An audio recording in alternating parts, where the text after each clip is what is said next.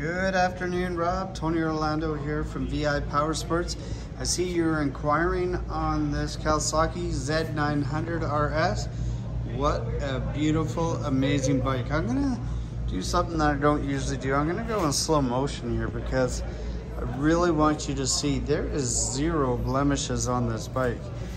It's got a really neat history. It was owned previously by our service manager and a very good customer um, of ours purchased it from him.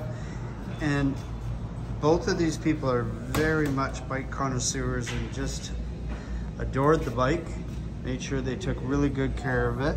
It sincerely looks like it's brand new. Um, yeah, it's just neat. It's been well taken care of. Some beautiful add-ons you've noticed with the pipe the levers. And then we get up into the tail tidy kit I'm just gonna put back here. Like, look at how clean that is, nice.